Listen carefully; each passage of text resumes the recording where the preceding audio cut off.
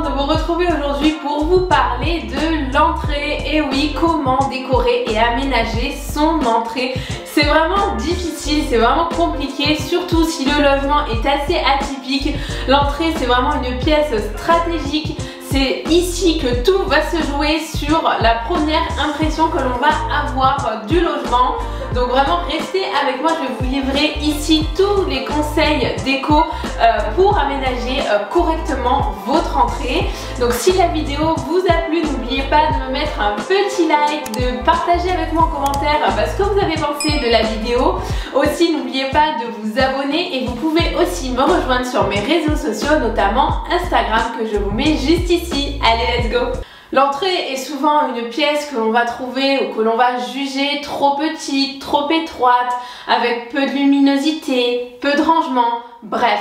C'est vraiment complexe de l'aménager. Pourtant, c'est un endroit où dès que l'on va rentrer, eh bien, on va vouloir se déchausser, enlever son manteau, poser ses clés. Bref, on a vraiment besoin de tout de suite se mettre à l'aise quand on rentre chez soi. Se mettre à l'aise, mais comment? Si je n'ai pas de place, si je n'ai pas de rangement, comment faire? Surtout que les solutions ne sont pas si évidentes.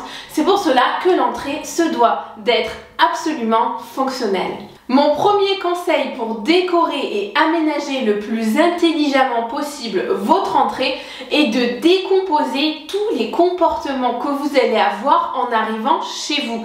C'est-à-dire Posez vos clés, posez votre sac à main, posez votre manteau, est-ce que vous enlevez vos chaussures dès que vous rentrez?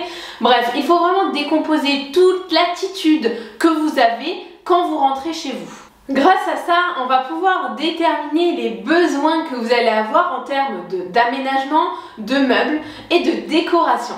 Pour des entrées étroites, je vous recommande de miser sur des meubles hauts et fins. Pour les entrées qui ne sont pas démarquées des autres pièces de la maison, je vous recommande d'utiliser des claustras ou des verrières qui vont vraiment permettre de cloisonner l'entrée et en même temps de cacher les accessoires peu esthétiques tels que le parapluie, le manteau ou les chaussures qui ne sont pas très agréables à voir une fois que l'on est dans son salon par exemple. Je vais vous livrer 6 petites astuces euh, qui vont vous permettre d'aménager et de rendre votre entrée la plus ergonomique possible. La première chose qu'il faut aménager dans son entrée, c'est un coin pour s'asseoir. Très très important pour se chausser et se déchausser. Donc vous pouvez utiliser un petit banc, une chaise, un tabouret, bref. Et pour les petits espaces que je vous recommande, c'est d'utiliser par exemple un petit coffre qui va permettre de euh, ranger vos chaussures en même temps que vous pouvez vous asseoir. Et vous pouvez aussi euh, opter pour, euh, pour un strapontin qui n'est ni plus ni moins qu'une chaise à abattant.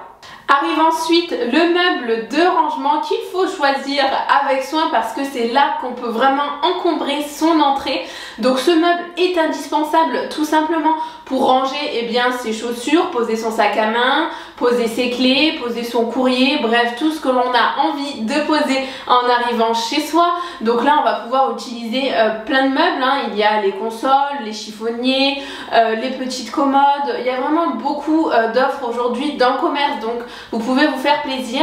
Une petite chose, attention, c'est qu'il faut bien penser aux proportions que l'on a dans son entrée. Si vous avez un petit espace, vraiment optez pour un meuble fin et haut. Ne partez pas sur quelque chose de trop euh, large, trop profond, car vous allez très vite vous retrouver encombré.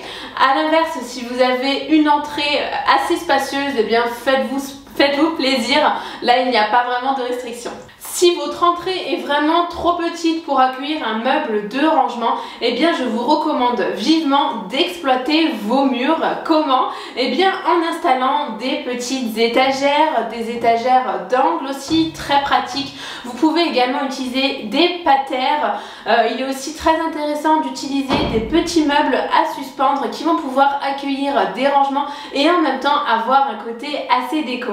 Vous l'aurez compris, c'est très important d'avoir des petits coin aménagé dans son entrée, même si elle est toute petite, parce que c'est un espace où on accumule beaucoup d'affaires assez régulièrement et ça peut vite être le bazar. Donc ne serait-ce qu'un petit porte-manteau, 3-4 patères, un panier vont vraiment vous aider à garder de l'ordre dans votre intérieur. Alors attention, si vous avez un porte-manteau, l'idée c'est quand même de ranger régulièrement euh, les manteaux qu'on n'utilise plus et eh bien dans sa penderie pour ne pas avoir comme ça un tas de manteaux euh, à l'entrée à tel point qu'on ne peut même plus euh, mettre le manteau de la journée sur le porte-manteau le soir. Donc faites attention aussi à ranger régulièrement votre entrée.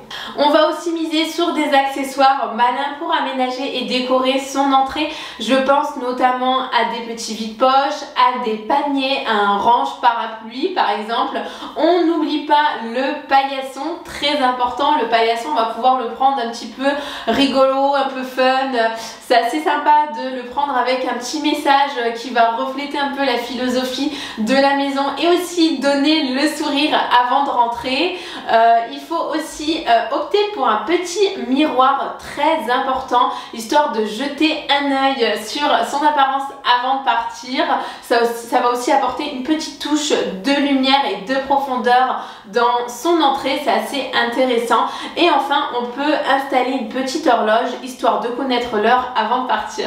Alors attention, euh, pour le miroir, il ne faut pas le disposer face à votre porte d'entrée. Pourquoi? Parce que quand vous allez rentrer chez vous, vous allez vous retrouver nez à nez avec vous-même et c'est franchement pas chaleureux. Euh, en plus de ça, lorsque euh, eh bien, vous êtes chez vous et que euh, la porte est fermée, eh bien, le miroir va refléter votre porte d'entrée et ça crée une sensation de vide et vraiment c'est malaisant. Donc la solution c'est de mettre le miroir sur le côté pour qu'il puisse refléter eh bien, l'aménagement de votre intérieur. C'est beaucoup plus esthétique. L'éclairage de l'entrée, très très important. Bon, comme toutes les pièces de la maison, j'ai envie de dire, c'est très important d'avoir une bonne source de lumière.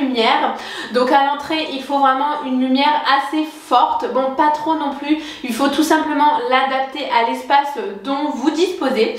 Euh, surtout si vous n'avez pas euh, de fenêtre ou de lumière naturelle, il va vraiment falloir éclairer cet espace.